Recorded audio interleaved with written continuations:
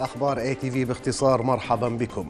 بعث سمو أمير البلاد الشيخ نواف الأحمد ببرقيات تهاني لأعضاء المجلس البلدي. عبر فيها سموه عن خالص تهانيه بالثقة التي أولاها إياهم المواطنون الكرام بانتخابهم لعضوية المجلس البلدي. سائلا المولى تعالى أن يوفق الجميع لخدمة الوطن العزيز والإسهام في رقيه وتطوره ورفعة رايته. هذا وأشاد سمو نائب الأمير ولي العهد الشيخ مشعل الأحمد بما اتسم به المواطنون الكرام من روح المسؤولية من خلال ما أبدوه من التزام وتعاون مع المنظمين خلال انتخابات المجلس البلدي التي جرت أمس بصورة جسدت ما يتحلون به من حس وطني رفيع. متمنيا للجميع دوام التوفيق في خدمة الوطن العزيز ورفعة شأنه.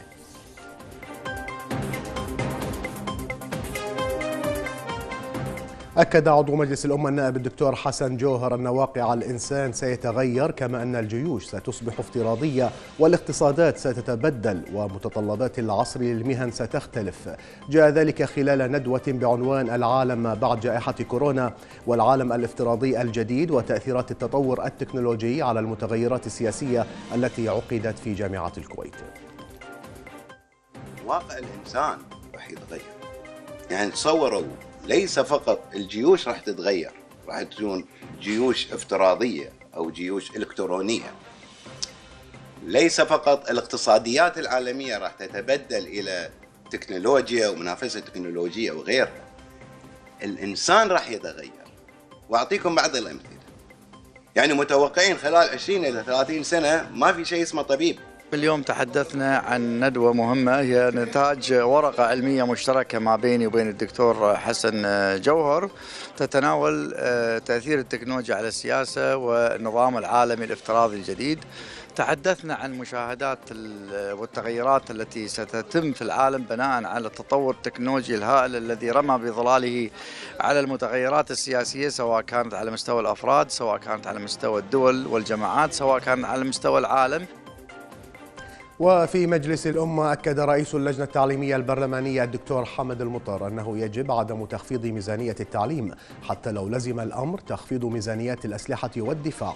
وأعرب المطر عن تمنياته أن يأتي سبتمبر المقبل ويكون هناك إشادة بأداء أي وزير تربية قادم أو سيتم استجوابه خصوصا وأن هناك فاقدا تعليميا للطلبة يصل إلى ثلاث سنوات بسبب كورونا.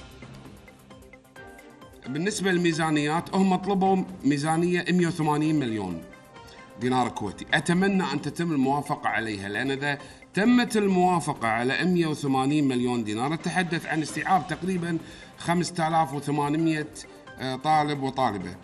آه، أنا دا نصيحتي للحكومة في موضوع الميزانية لا يجوز لا يجوز أن يتم تخفيض ميزانيات تتعلق بالتعليم سواء التعليم أو التعليم العالي.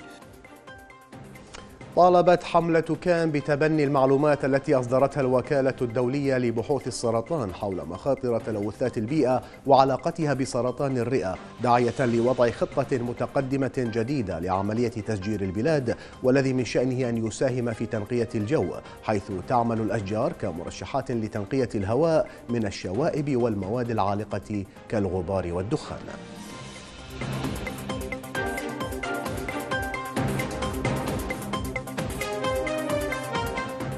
أعلن مساعد وزير الخارجية لشؤون التنمية والتعاون الدولي الوزير المفوض حمد المشعان أن الكويت تستعد لاستضافة اجتماع دولي لمكافحة الإرهاب في الرابع والعشرين من مايو الجاري بشأن مجموعة المقاتلين الإرهابيين الأجانب والمنبثقة من مجاميع التحالف الدولي ضد داعش الإرهابي.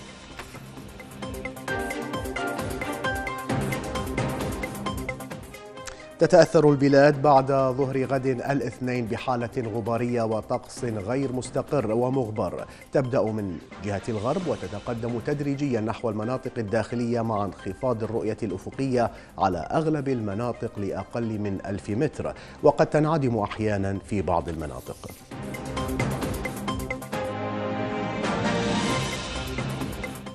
قالت منظمة الصحة العالمية أنها تتوقع رصد المزيد من حالات الإصابة بجدر القردة في الوقت الذي توسع فيه نطاق المراقبة في البلدان التي لا يوجد فيها المرض عادة.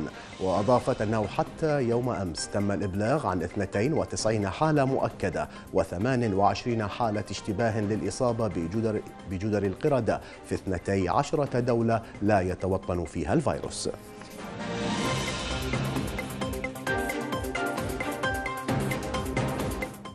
انسحبت اللاعبة الكويتية خلود المطيري من بطولة تايلاند الدولية في فئة سلاح المبارزة لرفضها مواجهة لاعبة من الكيان الصهيوني وتعتبر خلود المطيري من أبرز لاعبات المنتخب الكويتي الرياضي للمعاقين في ألعاب القوى وقد مثلت الكويت في الكثير من المحافل الدولية.